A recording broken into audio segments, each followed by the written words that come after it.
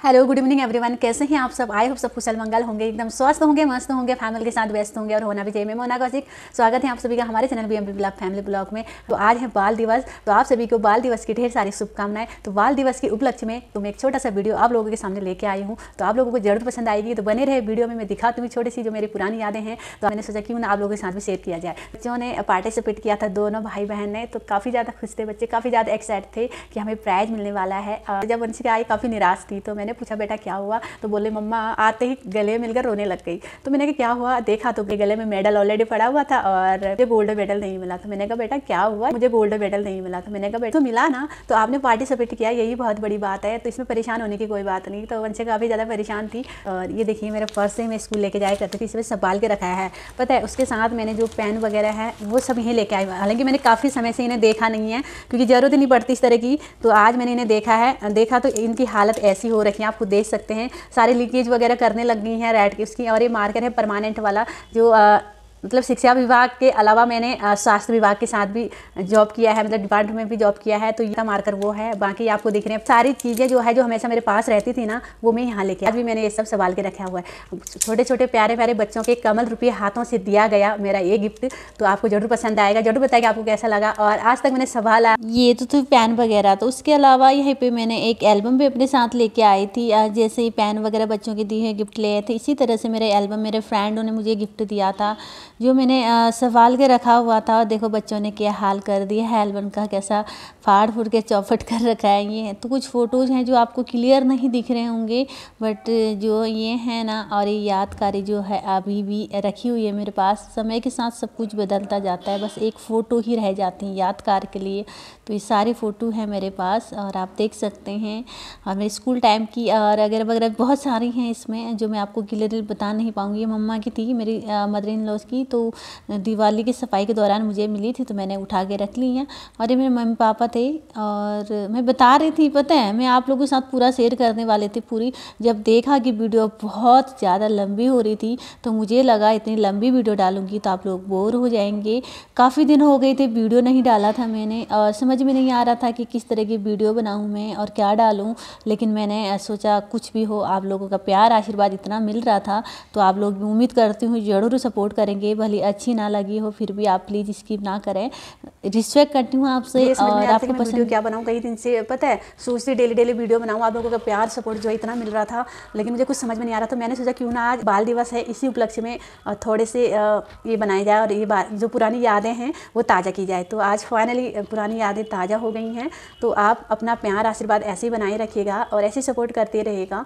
तो चलिए दिखाती हूँ वीडियो पर बने वो इसकी बिल्कुल भी ना करें हालाँकि वीडियो देखने लायक हो ना हो इंटरेस्टिंग हो ना हो, पर लेकिन सपोर्ट करिएगा, दिल से करिएगा प्लीज़ तो आने वाले समय में ताकि मैं अच्छे से अच्छी वीडियो बनाने की कोशिश करूँ। अभी मुझे कुछ समझ में नहीं आ रहा है कि पता नहीं टेंशन में ना। तो आने वाले समय में थोड़ा सा अच्छी बनाने की कोशिश करूँगी। तो प्लीज़ अभी जैसे भी हैं, जो भी हैं, ज़रूर देख दीजिएगा अगर बिल्कुल सुनने का मन बहुत ही बोरिंग लग रही है तो उसकी आवाज़ कम कर दीजिएगा वीडियो को चलते रहने दीजिएगा। तो चलिए, दिखाती हूँ वंशिका की तो ये है वंशिका का मेडल्स यानी कि गेम्स की जो थे, पिछली बार रेस में जो फ़र्स्ट और सेकंड आई थी और इस बार आई हैं सेकंड और थर्ड आई हैं, है ना? तो ये इस बार के हैं, एक बनाना रेस हैं और एक बिस्किट रेस एक में थर्ड एक में सेकंड आई हैं और पिछली बार भी ऐसे ही था फ़र्स्ट और सेकंड गोल्ड मेडल लेके आई थी तो ये पिछली बार का फ़र्स्ट जब आई थी वो सर्टिफिकेट्स हैं।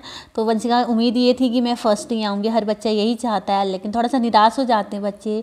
तो हमने समझा दिया है। और ये है स्कूल की पत्रिका जिसमें वंशिका और मेरी जो है फ़ोटो लग रही है। आप, जैसे कि आप देख पा रहे होंगे तो वंशिका को मूड फ्रेश करने के लिए दिखाया था। और ये प्रणब की जो पिछली बार स्कूल पे जो दशहरे में रावण को जलाया गया था, उस टाइम कोरोना काल था। तो कोरोना कह रहा था कि मैं राम बना हूँ। और मैंने भस्म कर दिया है। रावण का घर घर आके बता रहे थे। पिंकू हमारा छुटका, कौशिक छोटा बेटा मेरा तो यहाँ पे मैम को द्वारा प्रणव के हाथों से जलाया जा रहा है, रावण को, और ये आ गए हैं बच्चे स्कूल से। तो स्कूल से मिला है इन्हें गिफ्ट, आप देख सकते हैं, बच्चे इतने खुश नज़र आ रहे हैं, और ये वंशिका है, कैसे ठुमक रही हैं, और ये प्रणव सॉरी मेरा छुटका भांजा है, मेरा छोटा है ना? और ये परिणव है, लड़का और स्कूल में पिछली बार के वंशिका जब फ़र्स्ट आई थी, तब की पिक्चर है, देख के बड़ी वो रही थी। इसमें सेकंड आई आप देख सकते हैं। और ये रेस हो रही थी परिणव कह रहा था, मेरे भी फ़ोटो फ़ोटो आना चाहिए। देखिए, मैं कितना फ़र्स्ट रेस लगा रहा हूँ, फिर भी मैं नहीं आ पाया था।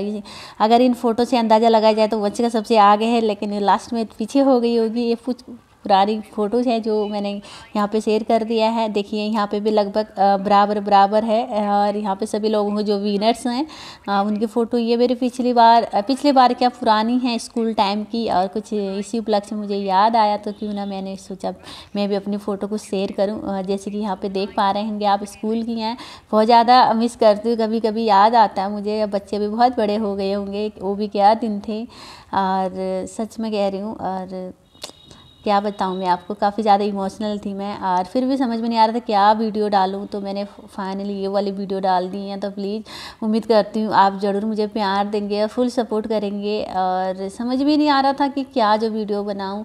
तो जैसी भी हैं, जो भी हैं, और प्लीज़ सपोर्ट करिएगा फुल वॉच करिएगा।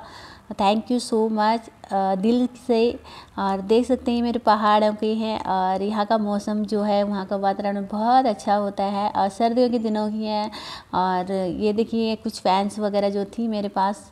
आई होप आपको वीडियो ज़रूर पसंद आई होगी। अगर आप हमारे चैनल पे नए आए तो प्लीज़ चैनल को सब्सक्राइब करना बिल्कुल ना भूलें। लाइक कीजिएगा कमेंट कीजिएगा शेयर कीजिएगा, और प्यार, आशीर्वाद ऐसे ही बनाए रखिएगा। चलिए, मिलते हैं अगले वीडियो में। तब तक के लिए ख्याल रखिएगा, अपना और अपनों का।